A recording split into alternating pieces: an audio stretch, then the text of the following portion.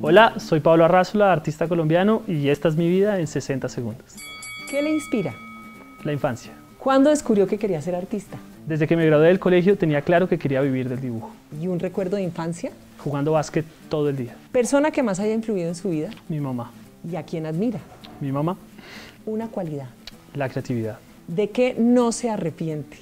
de haber dejado de estudiar medicina. Un defecto. Irónicamente, soy impaciente y perfeccionista.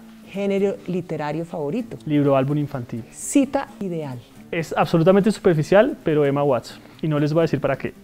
Un accesorio favorito. El lápiz, ¿Qué hubiera hecho si no fuera artista? pediatra. Color poderoso. Este es hediondo y está en todas partes. Palabra favorita. Serendipia. Un talento escondido.